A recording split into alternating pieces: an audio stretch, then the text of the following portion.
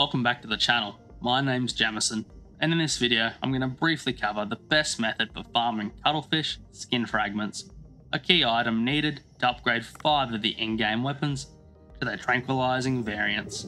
Now currently there is no way to guarantee a 100% drop rate for this item, however, based on my experience and that of other players, it does appear that 3 star cuttlefish drop the parts more often with what we estimate is a likely 15% drop rate, meaning that your best move for obtaining skin fragments is to farm 3 star cuttlefish as efficiently as possible. And to do that, I recommend using either a modified hush dart or a steel net gun, as both weapons are capable of easily subduing the cuttlefish with one successful shot, meaning that all you need to do is take one of these weapons and dive down to just shy of 50 meters where the cuttlefish spawn and proceed to capture every cuttlefish you see on the map. And sooner or later you will obtain one or more skin fragments which you'll need to upgrade these weapons in Dave the Diver.